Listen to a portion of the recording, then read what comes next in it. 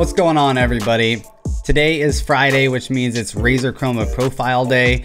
And today we have a viewer request design for you guys. I got a request from the user wrekej on my Discord channel to do a Punisher theme design. So that's what we're going to be doing today. This design primarily displays a skull on your keyboard, kind of replicating the logo of Punisher. And it also has a fire effect that's kind of in the background of it as well. Another unique feature about this design is the ripple effect that I did for it. It kind of creates a bullet shot type of effect. So it kind of looks like you're shooting bullets on the keyboard as you press some keys. So I'm going to be showing you guys exactly how I did this design. In the description below will be a download link so you guys can go and download this design on your Razer Chroma keyboards. And if you guys want to learn how I did it step by step, here's the tutorial to show you guys just that.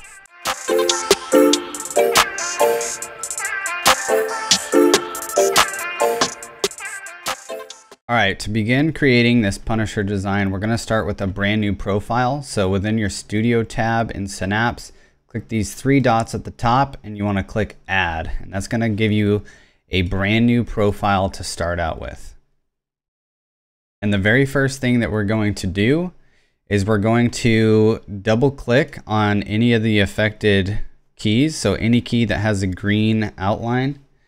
And we're going to change the spectrum cycling layer to a regular static layer, okay?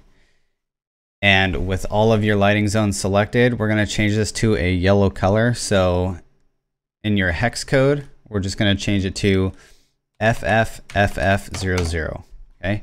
That's gonna give you a yellow static color all over everything.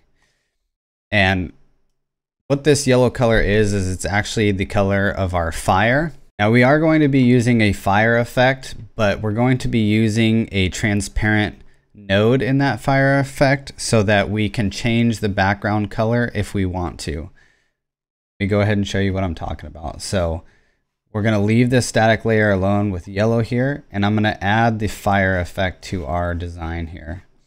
So with this fire effect selected, I'm going to click on my quick selections here and I'm going to have it choose everything. So every lighting zone that we have. So with everything selected, I'm going to change my cold to red, which is going to give us our fire effect. And the hot, I'm just going to leave it transparent. Okay. Now, our keyboard looks a little bit messed up. It doesn't really show much of a fire effect because it's sharing the effect with all of my devices that I have. So it's spreading out that fire effect on this whole entire canvas. So what I'm going to do is I'm just going to click into this gray area here and I'm going to select just my keyboard. I'm going to click on my red color and I'm going to change the very last digit from a 6 to a 7. This is not even a noticeable difference as far as the eye can see, but it does make it different from your other devices.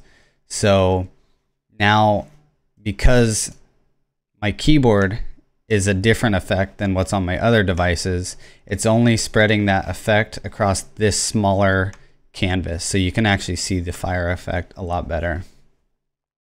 And from here, um, the reason I did our transparent node as our hot part is because we can actually, if we want to, we can go ahead and add a spectrum cycling layer, drag the spectrum cycling layer below the fire Okay, so above our static so that it overrides the yellow color.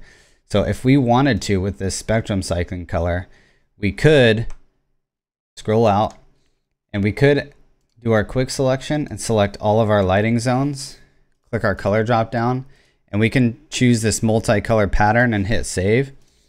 And this will actually create random colors for a fire effect. So if you wanted to do something like that with your design, you 100% could do that. And it would just slowly change colors for you. So that's the reason I wanted to go with the transparent node on the fire so that we can have a random color change if we want that. Okay. So moving on from here, the next layer that we're going to be adding is our audio meter. We're going to go straight into the audio meter from here. So we're going to click the audio meter layer.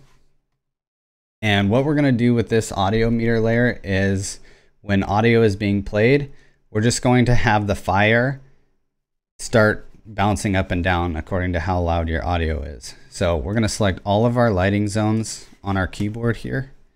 And you'll have to mess around with the properties to see what values work best for your audio on your PC because each PC is different. But mine works best at about 1.5 or 1.75. Okay. So I'm going to choose these properties right here. I'm going to click on my color drop down and I'm going to click on my I'm going to click on this two node pattern right here. Okay. And with this two node pattern, um, the first node here, we're actually going to leave black. Okay. So it's going to be black. And the second node over here, we're going to make transparent. Okay. So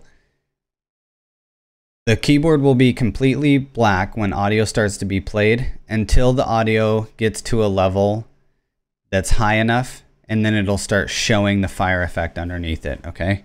So we're gonna hold control and I'm gonna deselect this bottom row. I click on my color gradient and I'm gonna move it up the list a little bit higher, okay? So these keys that I have selected will reveal the fire when audio is a little bit higher than that bottom row. And we're just going to do this in steps all the way up each horizontal line and increase the audio value each time we go. So we're going to hold control and we're going to select the next row up or deselect. We're going to click on our color drop down and we're going to drag the color nodes over a little bit more. Just like that. Good, and we're gonna hold control, deselect the next row up, click our color drop down, drag our nodes over. Control, deselect the next row up, click our color drop down, and drag them over. Control, deselect the next row up, and last adjustment here, just gonna drag those over, just like that. Okay, so that's all we're gonna do for our audio meter. Now I'm gonna play a little bit of music so you guys can see what that audio meter looks like.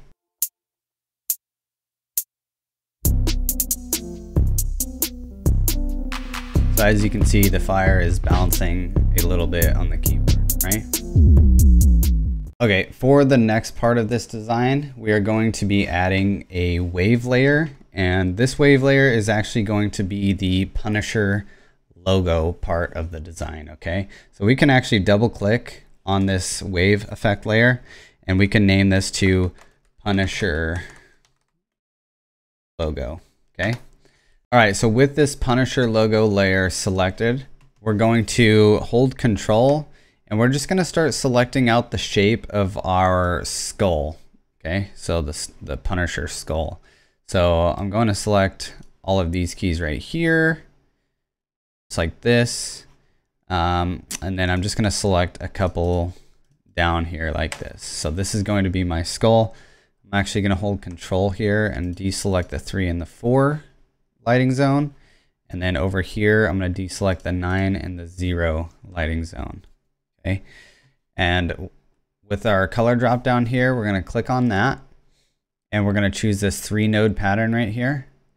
We're going to make the inside node here white. The outside node, we're going to make white as well, but we're going to drag this down a little bit darker, okay? So like right here. So we got 707070 for our hex code. We can copy that or just remember the code. Click on your third hex node here, or your third node rather, double click and paste in your hex code or just type in 707070.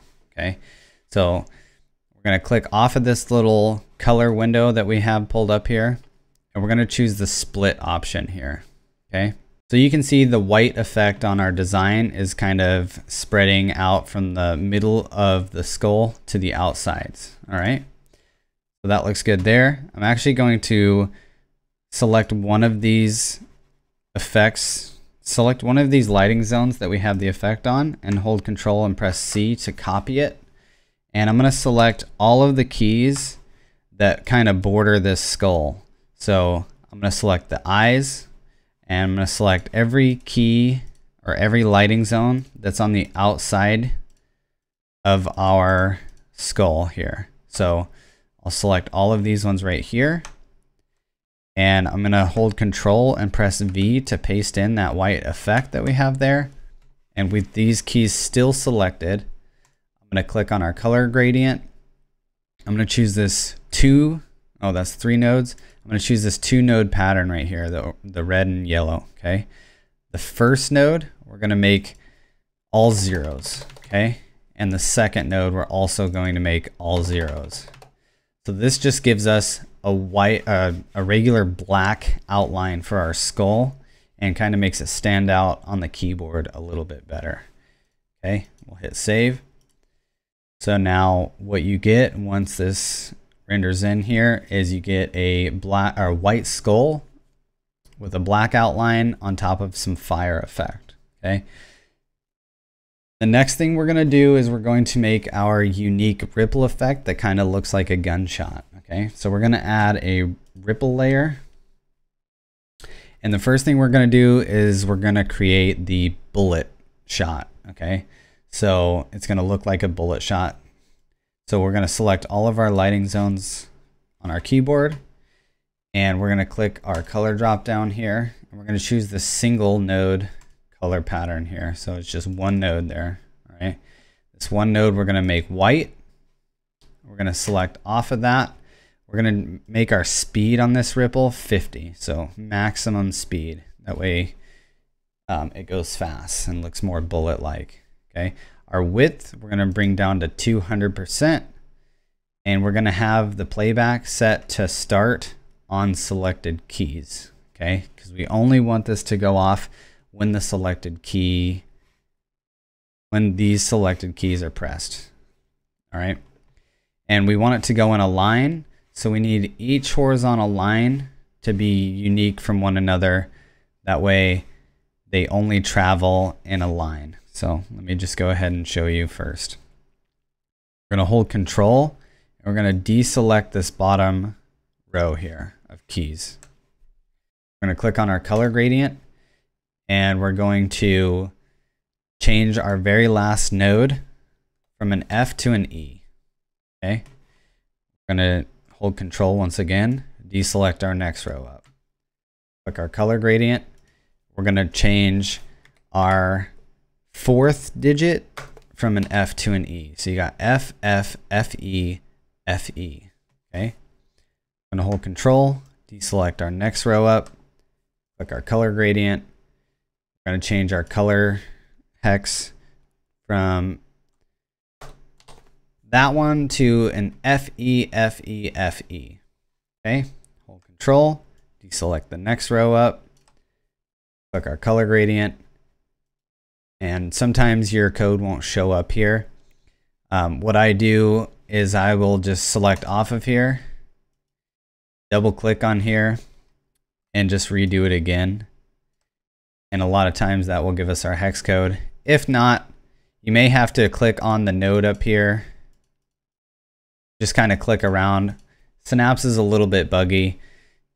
Sometimes clicking the node will make them show up. Sometimes selecting one of these boxes will make them show up. You just kind of got to mess around with it a little bit. Hopefully that gets fixed one day. But anyways, so we got to make these two horizontal lines different from the others. So we're going to start changing the E's back. So we're going to make that last E and F. So you got F, E, F, E, F, F. We're going to hold control, deselect the next row up, click our color gradient, and we're going to change this middle E to an F. Okay, so now each horizontal line will be unique in their hex value. So if I double click, you can see that effect is only on that line. That effect is only on that line. That line, that line, that line, and that line. Each horizontal line is unique, okay? So now when we go to press a key on our keyboard, it will ripple just on that line. Okay, so you only see it ripple on the line that's being pressed. All right. So that's it for the bullet animation. Now we're going to make the fire or explosion from the gun animation also with another ripple. So we're going to add a second ripple layer. Okay. And we're going to select all of our keys here. And we don't have to make each horizontal line unique on this one. Okay. Because it's going to be more of a an explosion that doesn't travel very far. Okay. So we're going to click on our color gradient. We're going to change it to a two node pattern here. And we're going to drag this right node all the way up against the red. Okay. We're going to make this node right here transparent. Then I'm going to drag it a little bit. We're going to do some fine, very delicate work here. And we're just going to drag this node a little bit away from that red one. Just like that. Just a little gap in there. Drag this red node up against that yellow or the transparent. And we're going to make this red node orange. That's it. Okay, we'll click off of that.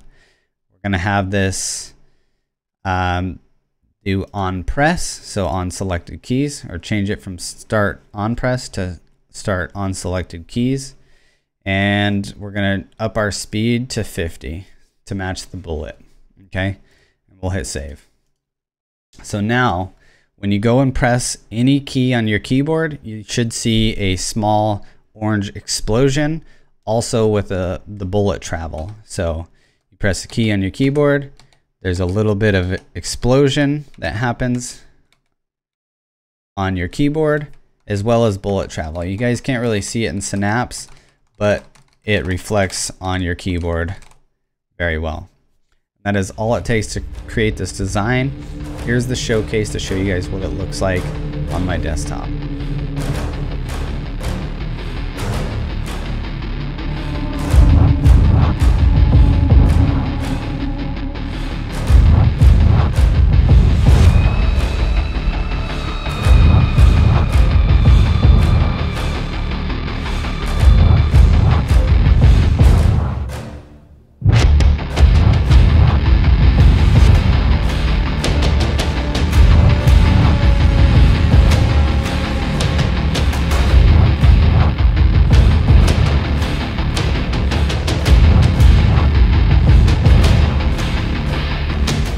Thank you guys so much for watching this video. I'd like to know if you guys are actually going to use this on your keyboards, so let me know in the comment section below.